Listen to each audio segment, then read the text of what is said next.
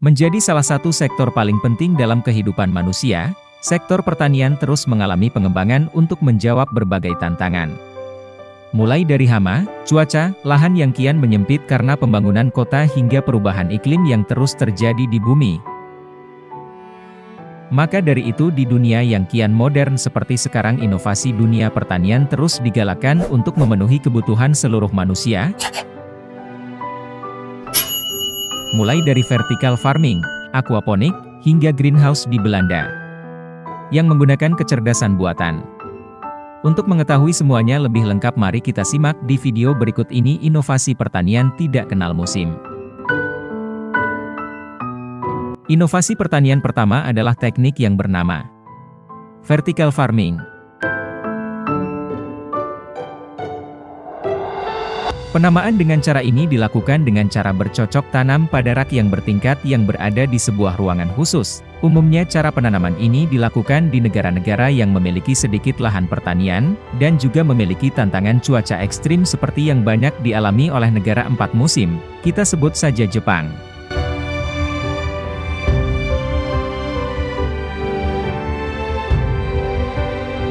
Dan hari ini salah satu tempat terbesar yang mengaplikasikan vertical farming berada di negeri matahari tersebut, yaitu perusahaan Nirai.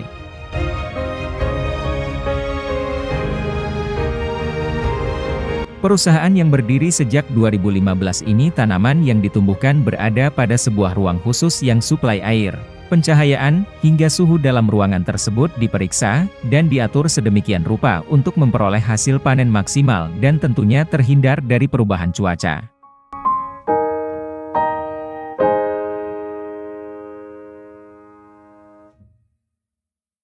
Hal ini terbuka efektif karena menurut CEO dari perusahaan Mirai Yoshioshina penanaman dengan vertical farming menghasilkan 50 hingga 100 kali lebih banyak dibanding dengan cara tradisional dengan menggunakan lahan yang sama. Tentu saja ini juga menjadi keuntungan di sektor bisnis pertanian, di mana yang tadinya cuma bisa magnet 100 kilo buah ataupun sayuran ini, udah bisa mencapai 5.000 hingga 10.000 kilo dalam sekali panen.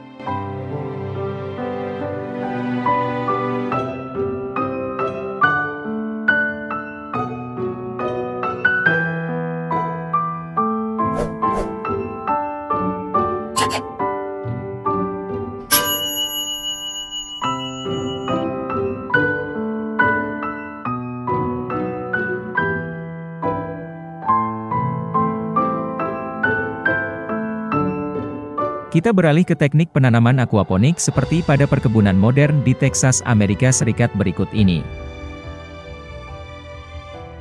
Kebun terbesar yang dimiliki oleh negeri Paman Sam pada dasarnya, teknik penanaman ini merupakan perpaduan antara dua ekosistem yang hidup bersama dan saling menguntungkan.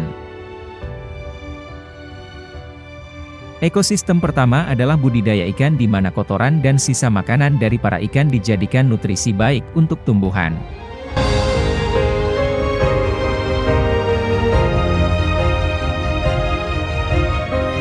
Ekosistem kedua adalah tanaman hidroponik yang menyerap kotoran, dan juga memurnikan air untuk ekosistem pertama.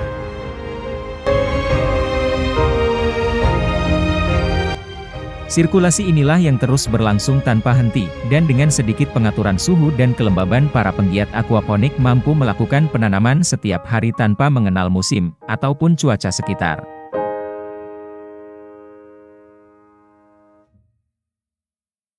Bahkan gaya penanaman ini menjawab tantangan musim panas ekstrim di Texas yang suhunya itu bisa mencapai 40 derajat Celcius. Bukan cuma itu tanaman aquaponik juga bertahan segar lebih lama dibanding dengan tanaman yang ditumbuhkan dengan cara tradisional.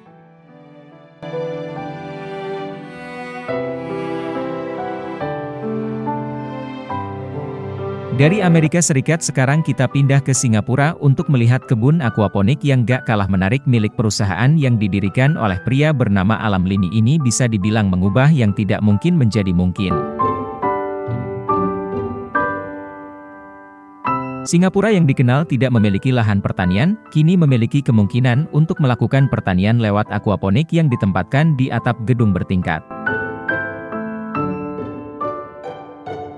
Ide ini memang terdengar gila, namun telah membuahkan hasil bahkan diklaim mampu memberikan hasil panen empat kali lebih banyak dibanding cara tradisional.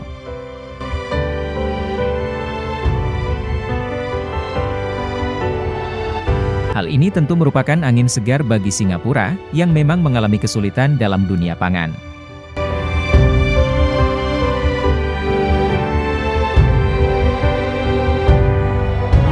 Bayangin aja Singapura mengimpor hampir 90% makanan untuk konsumsi dalam negeri.